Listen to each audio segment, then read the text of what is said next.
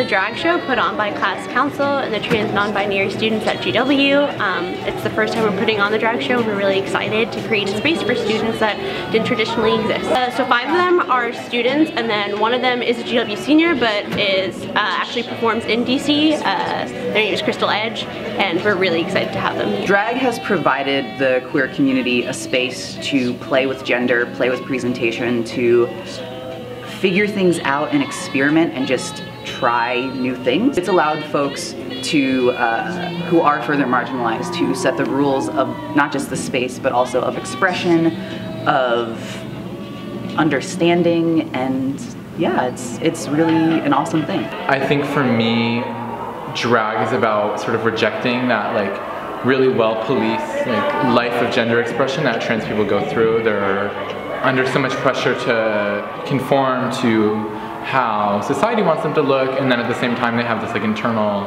war you know going on with their dysphoria and I think drag is about looking however you want and not really giving a fuck so it's really relieving especially for, for trans folks to sort of like shed all that armor and all that like pressure of having to present super specifically at one time. My drag persona I think changes like based on how I'm feeling. I think it's an expression of, of how I feel in the moment and it's definitely changed over time as well.